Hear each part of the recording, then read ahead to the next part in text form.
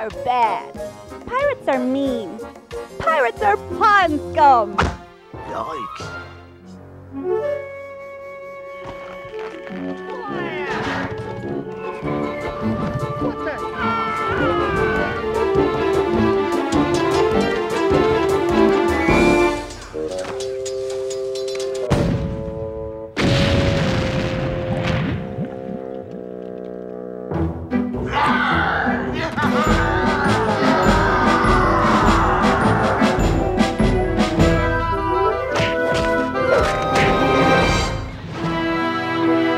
Second biggest monkey head I've ever seen.